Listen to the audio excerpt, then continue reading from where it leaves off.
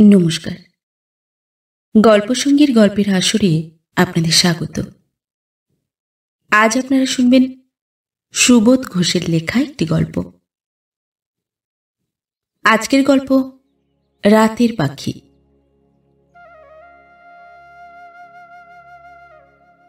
বাগানের পাঁচিলের গা ঘেঁষে দাঁড়িয়ে আছে একটা নিম গাছ। এরকম চেহারার নিম গাছ এ পৃথিবীতে অনেক আছে। জঙ্গলে আছে, জাঙ্গালে আছে, সড়কের এপাশে আর ওপাশেও আছে। ওই যে ফলগুর ওপারে, অনেক দূরে। একটা টিলার মাথার উপরে সেকেলে একটা কেল্লা বাড়ির ধ্বংস ইট পাথরের হাড়গোড় ছড়িয়ে পড়ে রয়েছে। সেখানেও ঠিক এমনই চেহারা নিমের একটা জঙ্গল অনেক ছায়া নিয়ে দাঁড়িয়ে আছে। এই নিমের দিকে আশ্চর্য হয়ে তাকাবার কিছু নেই। তাকিয়েও আশ্চর্য হবার কিছু নেই। গয়ার অক্ষয়বাবু কিন্তু তার বাগানে ইহানো একটা নিতান্ত সাধারণ ও সামান্য চেহারার নিমেরই দিকে অনেকক্ষণ ধরে তাকিয়ে আছেন। কচি নয়, বুড়োও নয়, একটা মাঝারি আকারের নিম গাছ। অক্ষয়বাবু এখন একেবারে ঠিক ঠিক হিসেব করে বলে দিতে পারবেন যদি আজকের এই ফাল্গুন মাসটাকেও হিসেবের মধ্যে ধরা হয়, তবে এই নিমের বয়স হল আট বছর এক মাস। গত এক বছরের মধ্যে একটা দিনও অক্ষয়বাবু তার বাড়ির পিছনের এই বাগানে সকাল, দুপুর বা বিকেলের কোনো ক্ষণেও বেড়াতে আসেননি। মাত্র এক বিঘে জমি নিয়ে সবজি ও ফুলের একটা বাগান। মস্ত বড় চেহারার একটা কদম আছে।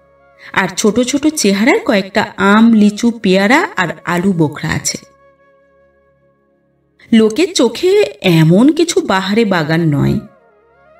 কিন্তু অক্ষয়বাবুর কাছে খুবই আদুরে বাগান। রিটায়ার করবার পর অক্ষয়বাবুর জীবনের অবসর নিতান্ত একটা আলস্য হয়ে নেতিয়ে পড়েনি। এই বাগানই তাঁর শ্রান্ত জীবনের অচঞ্চল অবসরের প্রাণটাকে নতুন একটা আগ্রহ আর ব্যস্ততা দিয়ে একটু চঞ্চল করে রেখেছে। সন্ধ্যাবেলা দেখে গেলেন গোলাপের কুঁড়ি সামান্য একটু ফুল্ল হয়েছে। পাপড়ির মুখটা সামান্য একটু খুলেছে। সকাল হতেই সব কাজের আগে একবার বাগানে এসে দেখে যান কুঁড়িটা ফুটল কিনা। যদি দেখা যায় ফুটেছে কুঁড়ি, বেশ উৎফুল্ল হয়ে হাসছে সেই গাজীপুরি গোলাপ তবে আবার অন্য সব কাজের আগে একবার ঘরের দিকে ফিরে আসবেন। আর ঘরের ভেতরের দিকে তাকিয়ে বলে উঠবেন, গাজীপুরি গোলাপ এবার ফুটতে শুরু করেছে সুচারু।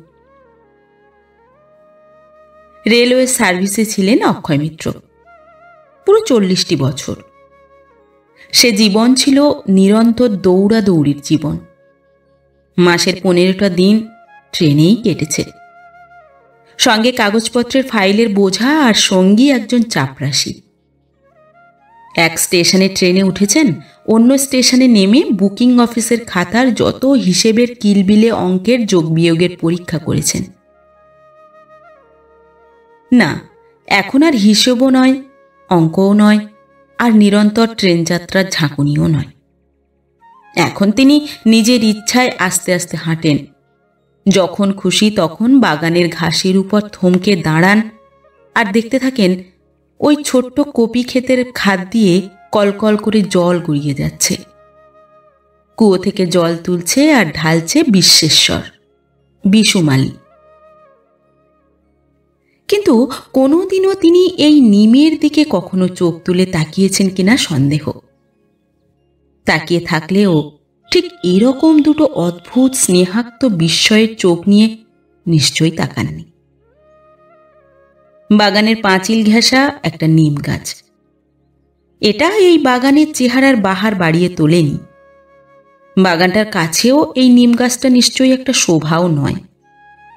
তার চেয়ে অনেক বেশি শোভা ধরে ওই কদম। ভাদ্র মাসের বৃষ্টির জলের ছোঁয়া পেয়ে তখন নতুন কোরকে ছেয়ে যায় গাছটা। এই এক বছরের মধ্যে একদিনের জন্যেও বাগানে বেড়াতে আসেননি অক্ষয়বাবু। তার কারণ এই যে, এই একটা বছর তার বুকের ভেতরে যেন শুধু শুকনো ধুলো উড়েছে। আর চোখের কাছে ভেসেছে ভয়ানক এক ছাই ছাই শূন্যতা। অমল, অক্ষয়বাবুর একমাত্র ছেলে অমল আর নেই। প্রায় এক বছর হলো অমল একদিন অক্ষয়বাবুর এই বাড়ির সব আনন্দ মিথ্যে করে দিয়ে চলে গিয়েছে।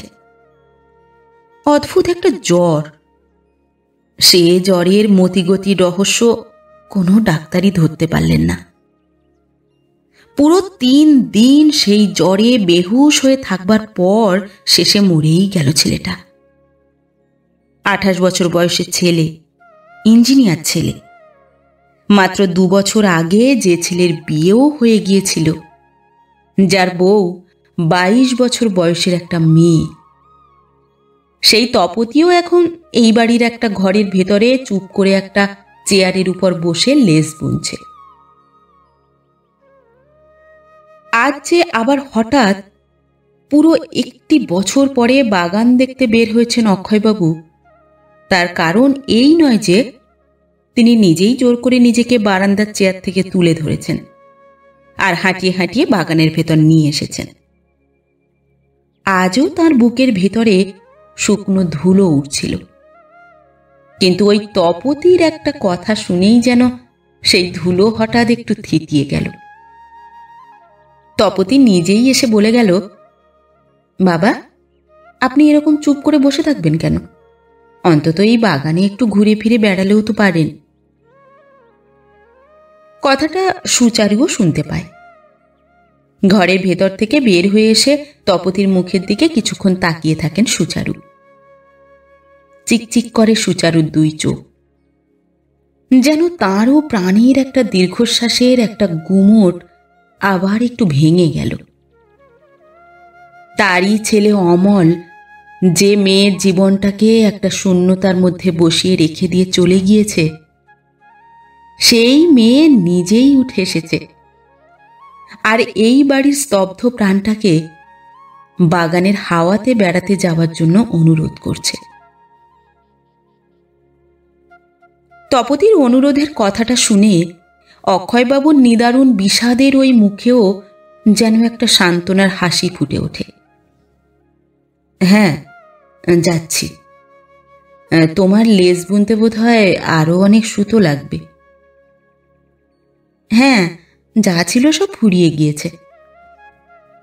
রঙিন সুতো কিনে আনব? খুব সুন্দর রেশমি সুতো। আনুন। তখনই চাকর গোবিন্দকে ডাক দিয়ে আর টাকা দিয়ে বাজারে পাঠিয়ে দিলেন অক্ষয়বাবু। সবচেয়ে ভালো রেশমি সুতো। দাম যাই হোক না কেন, এক্ষুনি কিনে নিয়ে এসো। তারপর উঠে এসে বাগানে বেড়াতে শুরু করেছেন। তারপর এই নিম গাছের দিকে তাকিয়েছেন। থমকে দাঁড়িয়েছেন। মনে পড়েছে অক্ষয়বাবুর।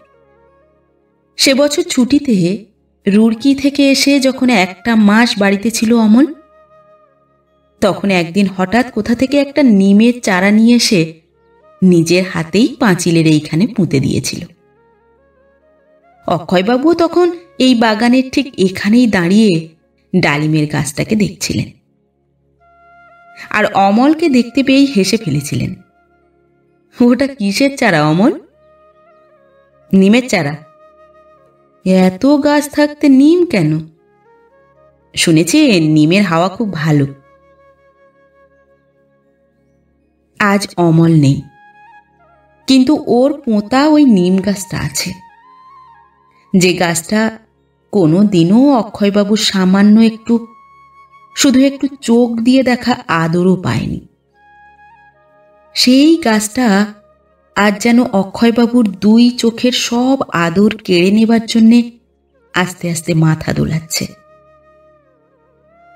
নিমের গোড়াতে অনেক আগাছার ভিড়। তারই ভিতর থেকে মাথা তুলে বের হয়ে এসেছে তেলাকুচোর লতা। নিমটার গা বেয়ে উঠে তেলাকুচোর লতাগুলি নিমের পাতা ভরা মাথাটাকে ছেয়ে ফেলেছে। ঝুলে ঝুলে হাসছে তেলাকুচোর টুকটুকের লাল পাকা ফলগুলো। দুটো টিয়ে পাখিও এসে নিমের ডালে বসেছে। পাকা তেলাকুচো খেয়ে খেয়ে টিয়ের খুশি প্রাণের ডাকও বেজেই চলেছে। যে টিয়ের ডাকের শব্দ কোনোদিনও শুনতে ভালো লাগেনি, সেই টিয়ের ডাক শুনতে আজ বেশ ভালোই লাগে।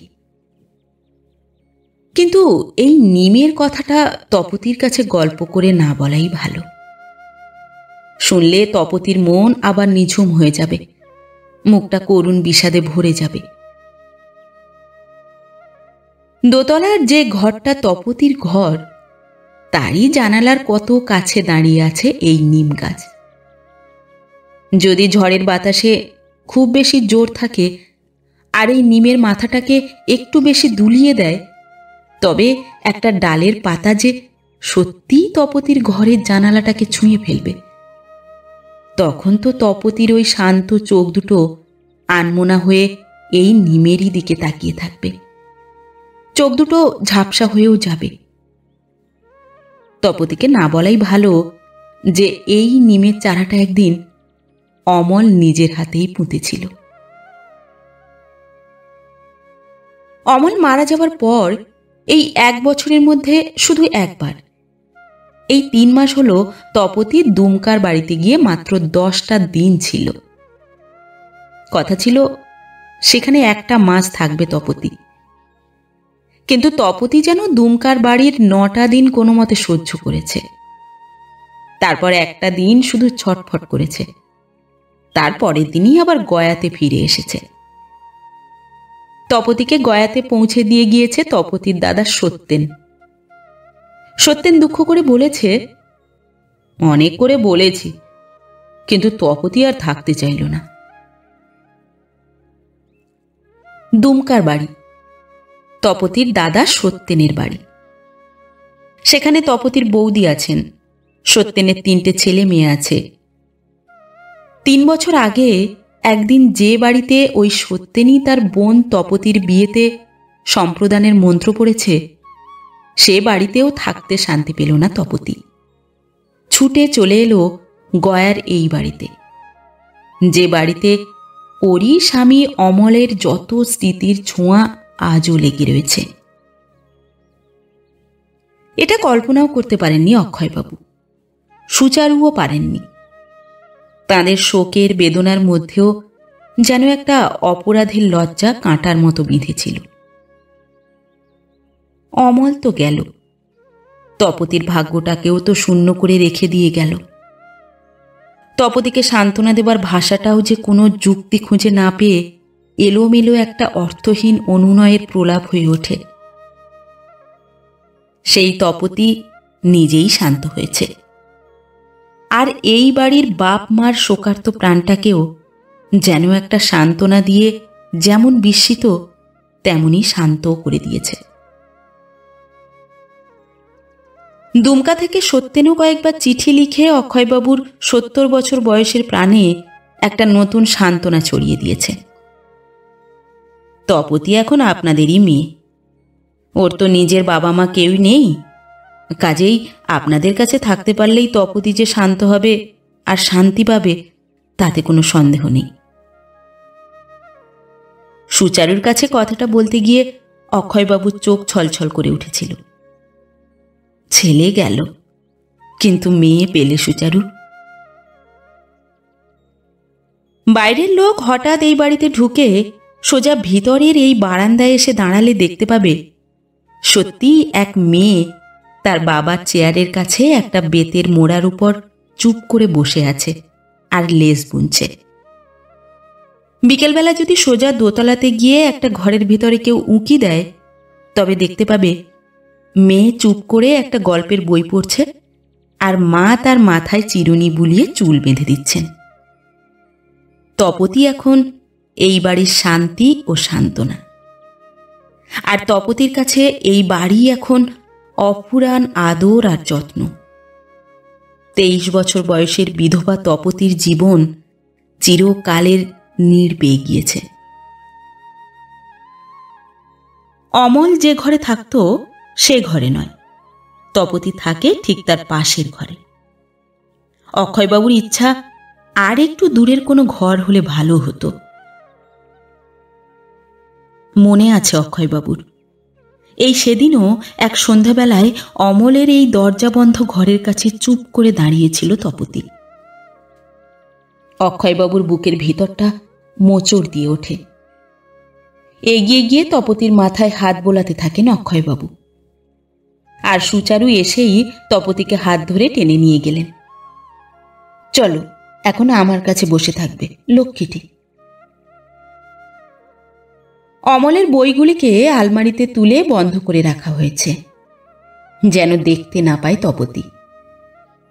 যে আলনাতে অমলের জামা কাপড় থাকত, সেটা এখন অন্য ঘরে। অমলকে মনে পড়িয়ে দেবে, এরকমের যা কিছু এখনও এ বাড়িতে আছে, তার সবই আড়ালে সরিয়ে দিতে হয়েছে। কিন্তু সরিয়ে দেওয়া সম্ভব হয়নি অমলের ফটোটাকে। এটা তপতির ঘরের দেয়ালে একটি সুস্থির স্মৃতির ছবি হয়ে রয়েই গিয়েছে। ওই ফটোটাকে সরিয়ে দেওয়ার কথা কখনো মনেও হয় না অক্ষয়বাবু। ওটা তো থাকবেই ওটাও না থাকলে আর কি নিয়ে থাকবে তপতি? ওই ফটো তপতির প্রাণের মধ্যে আছে বলেই তো তপতি এই বাড়িকে জীবনের চিরকালের ঠাঁই করে নিয়েছে। কিন্তু যেন আর কান্নাকাটি না করে তপতি। যেন হঠাৎ চোখ দুটোকে করুণ করে আকাশের দিকে তাকিয়ে তাকিয়ে একটা ঘণ্টা পার না করে দেয়। যেন হাতের লেস হঠাৎ ফেলে রেখে দুটো উদাস চোখ নিয়ে আর স্তব্ধ হয়ে বসে না থাকে। তাই এই নিম গাছের কথাটা তপতির কানে তোলবার দরকার নেই। উচিত নয়।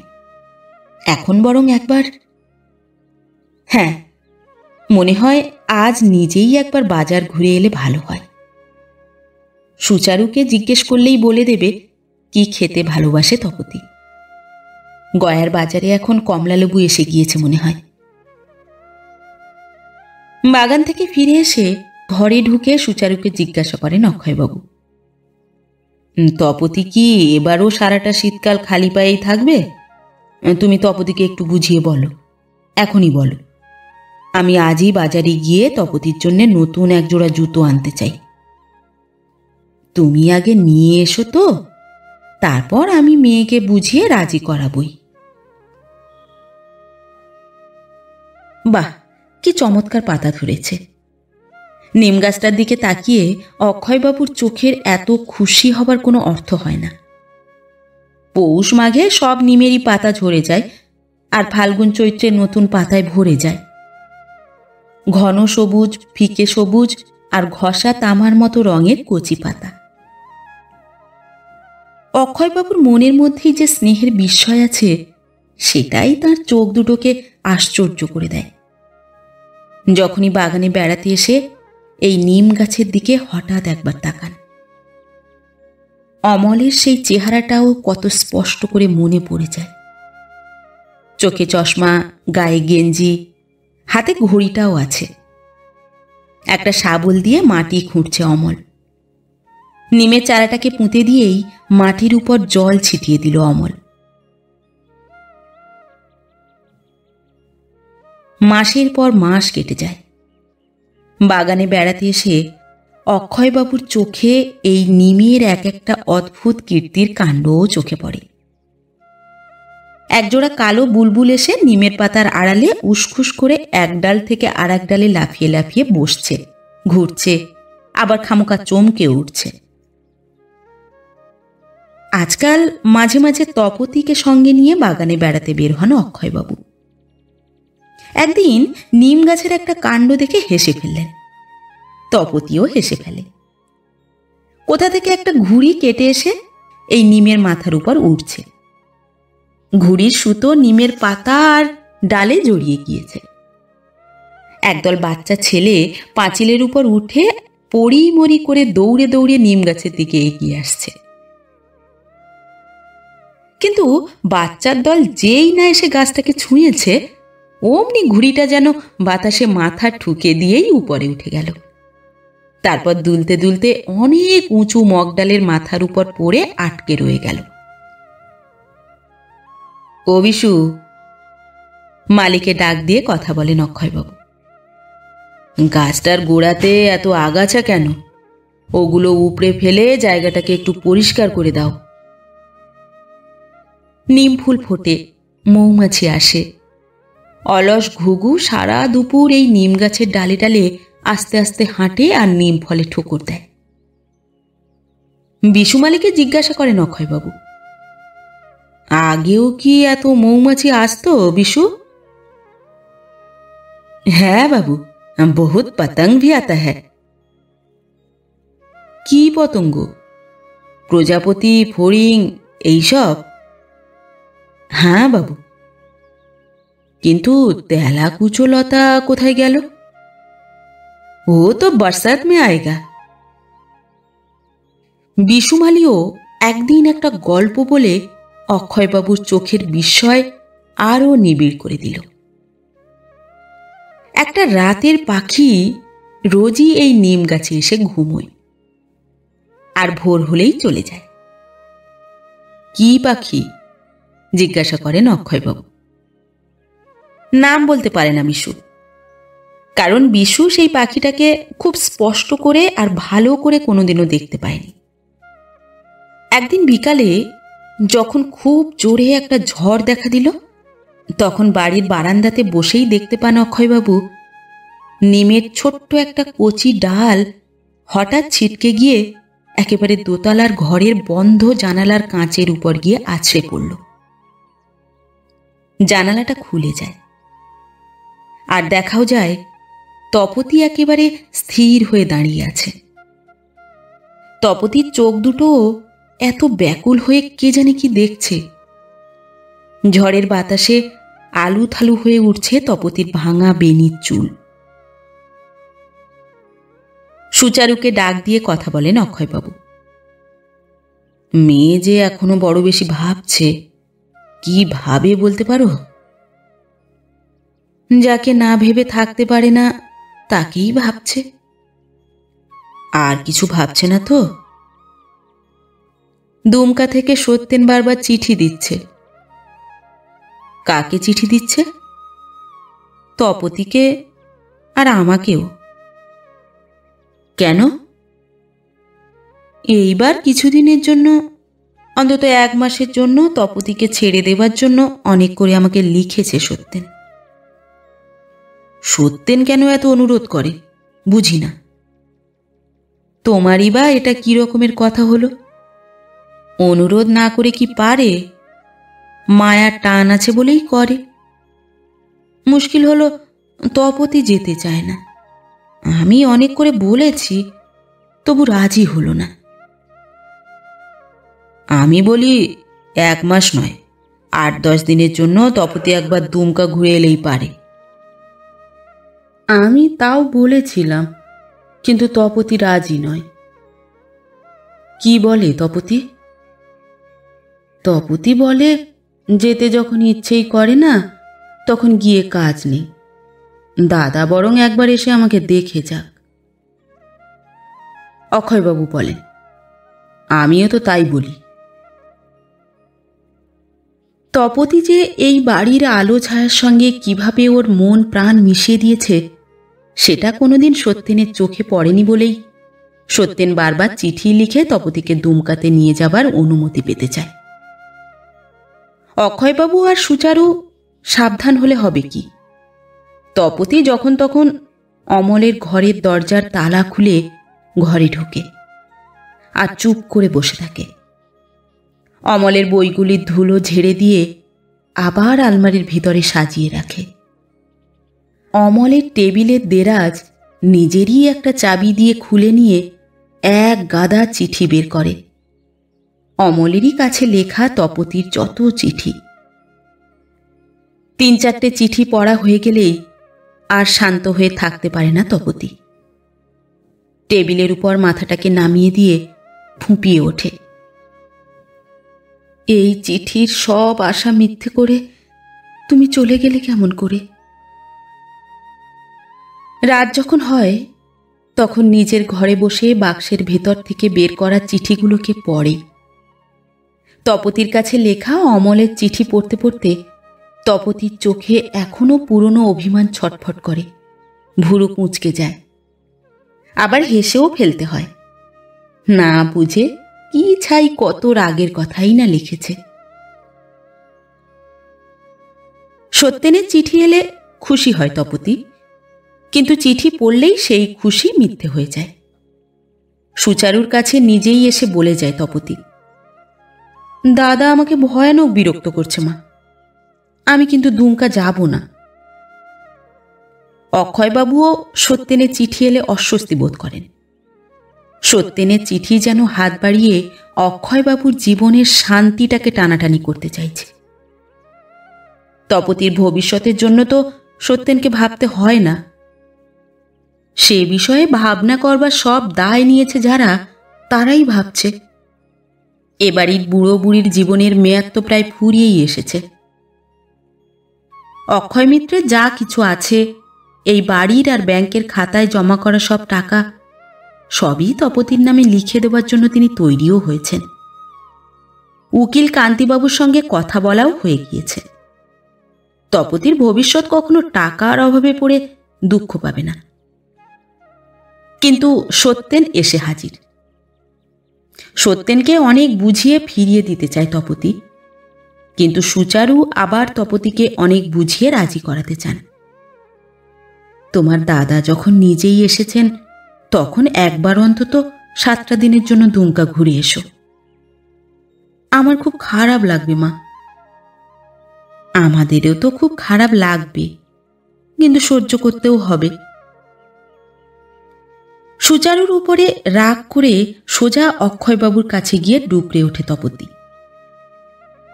আমাকে যেতে হবে নাকি বাবা? না না, তুমি যাবে না। চেয়ার থেকে ব্যস্তভাবে উঠে দাঁড়ান আর টলমল করতে থাকেন অক্ষয়বাবু। আমি সত্যেনকে স্পষ্ট করে বুঝিয়ে দিচ্ছি। সুচারু বাধা দিলেন বলেই আর সত্যেনকে স্পষ্ট করে বোঝাতে পারলেন না অক্ষয়বাবু। দুপুরবেলাটা খাওয়া দাওয়ার পর নিচের তলার নিরিবিলি ঘরে শুয়ে পড়ে থাকে সত্যেন। আর উপরতলার একটি ঘরে বিছানার উপর তপতির একপাশে বসে থাকেন অক্ষয়বাবু, আর এক পাশে সুচারু। মেয়েকে সাত দিনের জন্য দুমকা যেতে দিতে রাজি হয়েও যেন রাজি হতে চাইছে না, দুটি অদ্ভুত মমতার প্রাণ। কথা বলতে গিয়ে ভিজে যায় তপতির চোখের পাতা। আমার এই বিছানা যেন ঠিক এই রকম পাতা থাকে, মা। গুটিয়ে রাখবে না। সব ঠিক করে রাখব আমি। তুমি কিছু ভেবো না। আমি কিন্তু সাত দিনের বেশি একটা দিনও দুমকাতে থাকতে পারব না, বাবা। সে কথা দাদাকে ভালো করে বলে দিন। আমি বলে দিয়েছি তপতি, তুমি কিছু ভেবো না। সন্ধ্যা হতেই ট্যাক্সি এলো। রওনা হতে হবে। অক্ষয়বাবুর গা ঘেঁষে দাঁড়িয়ে কাঁদতে থাকে তপতি। অক্ষয়বাবুর গলা ঘর করে। আমি যে কি বলব বুঝতে পারছি না।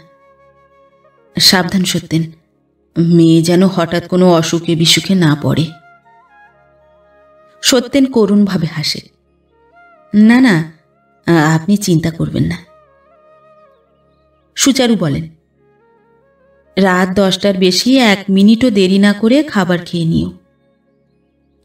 খাবারের বাস্কেটটা সত্যেনের হাতের কাছে এগিয়ে দেন সুচারু চলে গেল ট্যাক্সি। অক্ষয়বাবুর টলমলের শরীরটা এবার ক্লান্ত হয়ে চেয়ারের উপর বসে পড়ে। অনেকক্ষণ পরে সুচারু এসে যখন কাছে দাঁড়ান, আর বেচারা সত্যেনের কথা বলতে গিয়ে হেসে ফেলেন তখন অক্ষয়বাবুও হাসেন।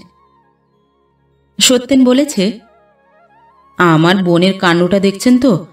আমি যেন কেউ নই, নেহাতি একটা বাইরের মানুষ। তপতি আমাকে মুখের উপর কত স্পষ্ট করে বলে দিল, বাবা আর মাকে ছেড়ে কোথাও থাকতে আমার ভালো লাগবে না, আমার ভয় করবে। যাকগে, সাতটা দিন তো দেখতে দেখতে পার হয়ে যাবে, তুমি আর অত মন খারাপ করো না। সাত দিনের ছটা দিন পার হবার পর রাত্রিবেলা শুতে যাবার আগে অক্ষয়বাবু বলেন তাহলে কাল সকালেই একবার স্টেশন যেতে হয়। কি বলো? সুচারু বললেন, যেও।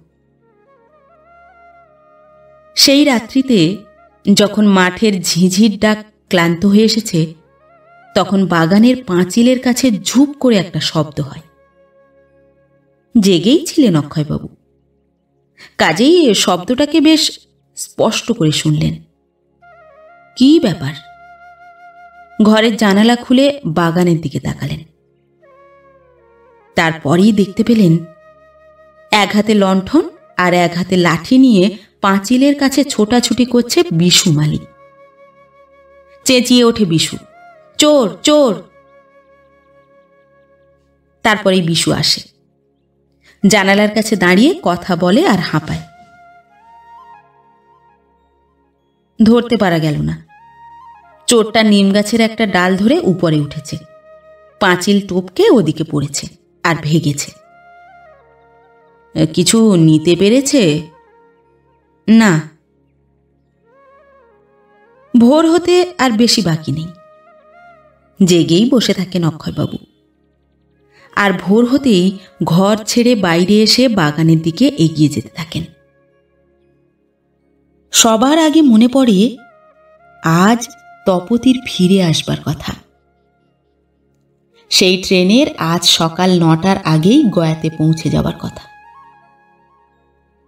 বাগানে ঢুকেই সবার আগে চোখে পড়ে, বিশুমালি নিম গাছটার কাছে দাঁড়িয়ে কি যেন করছে। বিশুকে অনেকবার বলেছেন অক্ষয়বাবু তুমি নিম গাছ থেকে দাঁতন ভাঙবে না। বাড়ির সামনে সড়কের পাশে একটা নিম গাছ আছে। যত খুশি দাঁতন ওই গাছ থেকে ভেঙে আনতে পারো। এই বিশু, কে হতা হ্যাঁ এগিয়ে যান অক্ষয়বাবু। এ কি কাণ্ড? নিমের মস্ত বড় আর শক্ত একটা ডাল ভেঙে ঝুলে রয়েছে। সেটাকেই হাত দিয়ে ঠেলাঠেলি করে একেবারে ভেঙে ফেলবার চেষ্টা করছে বিশু বিশু বলে, চোর তোর দিয়া। চোর পালিয়ে যাওয়ার সময় নিমের এই ডাল ধরে লাভ দিয়ে পাঁচিলে উঠেছিল। চোরেরই শরীরের ভারে ভেঙে গিয়েছে এত বড় এই ডালটা। সকাল আটটা বাজতেই অক্ষয়বাবু স্টেশনে যাবার সব ব্যস্ততা স্তব্ধ হয়ে গেল। কারণ দুমকা থেকে একটা চিঠি এসেছে। তপতি লিখেছে, এখানে এরা আমাকে কিছুতেই ছাড়তে রাজি হচ্ছে না, বাবা। আরও সাতটা দিন থাকতে বলছে। আমার একটু ভালো লাগছে না। আমি বড় জোর আর তিন চার দিন এখানে থেকেই গয়া ফিরে যাব। আপনি চিন্তা করবেন না। সে চিঠির সাত দিন পরেও নয় সাত মাস পরেও নয়। আজ প্রায় আট মাস হল তপতি দুমকা থেকে গয়াতে ফিরে আসতে পারেন। তবে তপতির চিঠি এসেছে। প্রথম এক মাসে তিনটে চিঠি। তারপর চার মাস, প্রতি মাসে একটা করে চিঠি। তারপর শেষ তিন মাসে মাত্র দুটো চিঠি। চার মাস আগেরও একটা চিঠিতে লিখেছিল তপতি আমার ঘরের টেবিলে যে জিনিস যেখানে আছে, ঠিক সেখানেই যেন থাকে মা। আমার চিঠি থাকে যে কাঠের বাক্সটাতে? একবার দেখবেন তো, সে বাক্সটার তালা ঠিক বন্ধ আছে কি না বাক্সটার উপরে কোনো বাজে জিনিস যেন চাপিয়ে না রাখা হয়। দু মাস আগে তপতির যে চিঠি এসেছে, তার অনেক কথার মধ্যে একটা ভালো কথাও আছে। আমার শরীর ভালো দুমকাতে শালবনের পাশে পাশে বেড়াবার খুব ভালো জায়গা আছে। গয়ার খোলগুর মতো অত চওড়া নয়, আমাদের দুমকার শালবনের কাছের নদীটা ছোট হলেও জলের বেশ স্রোত আছে। আপনিও রোজ নিয়ম করে একবার বাগানে নিশ্চয়ই বেড়াবেন, বাবা। তপতির শেষ চিঠির ভাষাটা যেন করুণ হয়ে ছটফট করেছে। আমি কবে যে এখান থেকে ছাড়া পেয়ে গয়াতে ফিরে যাব কিছুই বুঝতে পারছি না, বাবা। আমাকে ক্ষমা করুন। চিঠিটাকে হাতে ধরে নিয়ে অনেকক্ষণ নিজের মনেই বিড়বিড় করেছিলেন অক্ষয়বাবু। আমিও যে কিছুই বুঝতে পারছি না, কি ক্ষমা করব? তপতির শেষ চিঠির উত্তর তো দেওয়াই হয়েছিল। যাই হোক তুমি আর দেরি করো না তপতি। এবার চেষ্টা করে চলে এসো। বুঝতেই তো পারছ, এখানে আমাদের শূন্য হয়ে থাকতে কত খারাপ লাগছে।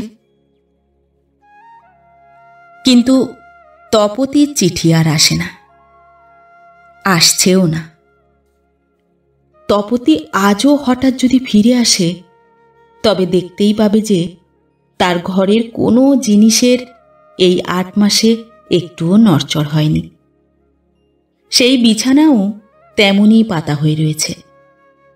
সুচারু নিজে একবার ঘরে ঢুকে পালক ঝাড়ু বুলিয়ে বিছানা থেকে ধুলো সরিয়ে দিয়ে যান।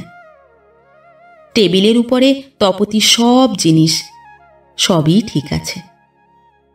চুল বাঁধবার একটা ফিতেকে ভুল করে টেবিলের উপর ফেলে রেখেছিল তপতি। সেই ফিতেটাও ঠিক সেই টেবিলের এক কোণে পড়ে আছে। অক্ষয়বাবুর শরীরটাও বড় ক্লান্ত। একবার চেয়ারে বসে পড়লে আর সহজে উঠতে চান না। সামান্য একটা শব্দ শুনলে চমকে ওঠেন। বাড়ির সামনের সড়কে কিছু একটা নড়ে চড়ে উঠলেই চোখ দুটো বড় হয়ে তাকায়। মাঝে মাঝে বাগানে বেরিয়েও আসেন। হয় সকালে, নয় বিকালে কিংবা সন্ধ্যায়। কিন্তু খুবই আনমনার মতো ঘুরে বেড়ান অক্ষয়বাবু। ডালিম ফুল ফুটেছে, কিন্তু চোখে পড়ে না। কত গাজীপুরি গোলাপের কুঁড়ি কতবার ফুটে উঠল, কিন্তু দেখবার জন্যে দু চোখ অপলক করে আর এগিয়ে যেতে পারেন না। কিন্তু এ কি? একদিন হঠাৎ নিম গাছটার কাছে থমকে দাঁড়ালেন অক্ষয়বাবু। এটা তো বৈশাখ মাস। নিমের মাথা তো এত ন্যাড়া হয়ে থাকবার কথা নয়। নিমের পাতা গেল কোথায়?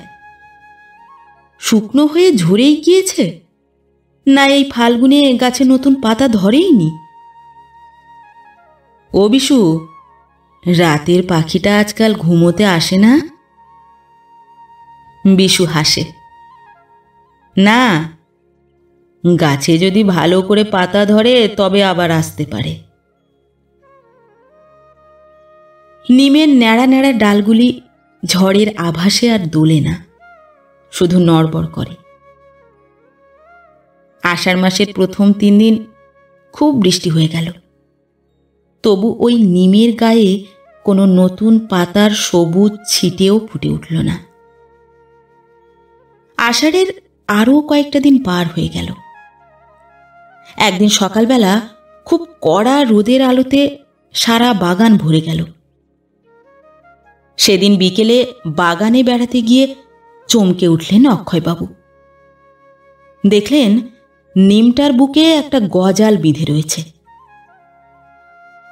কে করলে এই কাণ্ডটা? বিশুমালিকে জিজ্ঞেস করতেই বুঝতে পারলেন অক্ষয়বাবু, এটা বিশুমালিরই একটা দরকারের গজাল। কাপড় শুকোতে দেওয়ার জন্য দড়ি টানাতে হবে। তাই নিম গাছটার বুকে ওই গজাল পুঁতে দিয়েছে বিশু। অক্ষয়বাবু বলেন, গাছটাতে গজাল না পুঁতলে কি চলতো না? বিশু বলে, এ গাছে আর কোনো জোর নেই বাবু। কেন? গাছের শিকড় ইঁদুরে কুড়ে দিয়েছে। কোথায় ইঁদুর? সে কি আর চোখে দেখতে পাবেন? মাটির তলায় ইঁদুরের রাস্তা আছে। পাঁচিলের ওদিক থেকে ইঁদুর এদিকে এসে গাছের শিকড় কুড়ে দিয়ে চলে যায়। বাহ, খুব অদ্ভুত ব্যাপার। বলতে বলতে চলে যান অক্ষয়বাবু। আর বাগানে ঘুরে বেড়াতে ইচ্ছে করে না। আর বেরিয়ে দেখবারই বা কি আছে। সেই তো যত পেয়ারা, আতা আর ডালিম। ঠাসাঠাসি একগাদা সূর্যমুখীর গায়ের উপর ফড়িং উঠছে। মূলর ক্ষেতের জলে ব্যাং লাফিয়ে বেড়ায়। কয়েকদিন পরে একদিন দেখলেন, শুকনো মরা নিম গাছটার ধরটা আর নেই। বিশুমালি গাছটাকে কেটে চেলা করে রেখে দিয়েছে। গাদা করে রাখা নিমের চেলার উপর গিরগিটি ঘুরছে। বিকেলে রোদ মরে গিয়ে আবার মেঘ ঘনিয়ে উঠতেই বিশুমালি তাড়াতাড়ি হাত চালিয়ে নিমের ওই চেলা কাঠের গাদা ঝুড়িতে তুলে তুলে সরিয়ে দিল। রান্নাঘরের চালার নিচে জড়ো করে রেখে দিল। না, সেই নিমের আর কোনো চিহ্ন রইল না। যেখানে নিমটা দাঁড়িয়েছিল সেখানে এখন কাঁচা মাটি ফুলে ফুলে রয়েছে।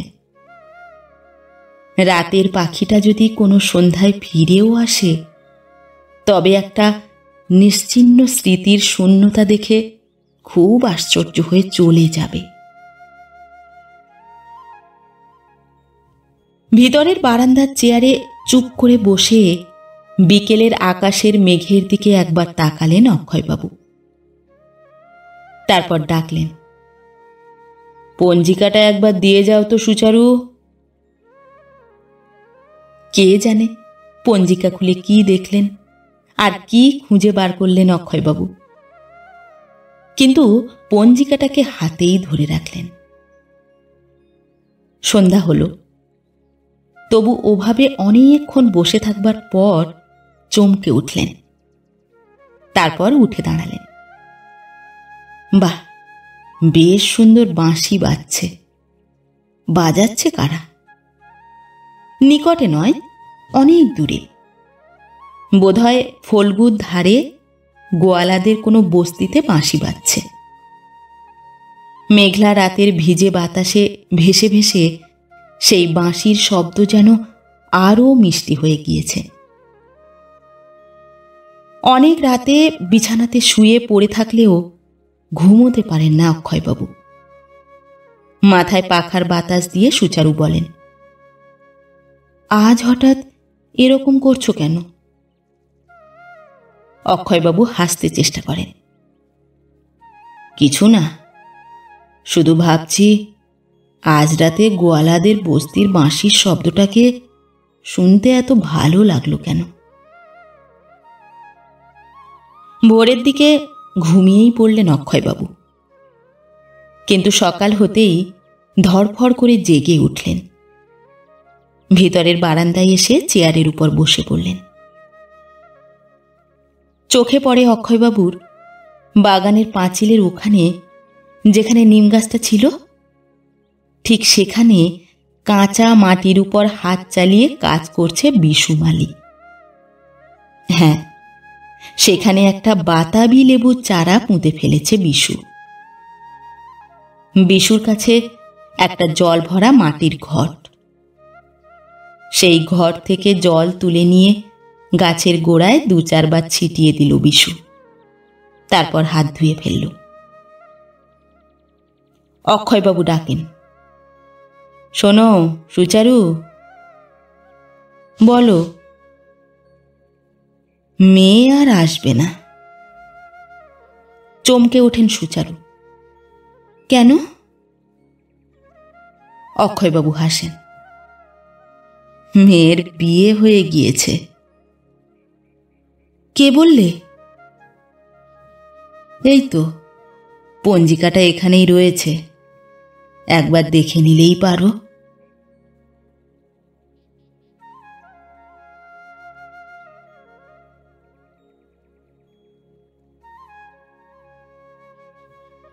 নমস্কার। পরবর্তী গল্প নিয়ে খুব শিগগির ফিরে আসছি। ততক্ষণ সবাই ভালো থাকবেন, সুস্থ থাকবেন। গল্প পাঠ কেমন লাগল অবশ্যই কমেন্ট করে জানাবেন। এবং ভিন্ন ভিন্ন স্বাদের অডিও স্টোরি শোনার জন্য অবশ্যই চ্যানেলটি সাবস্ক্রাইব করবেন। ধন্যবাদ।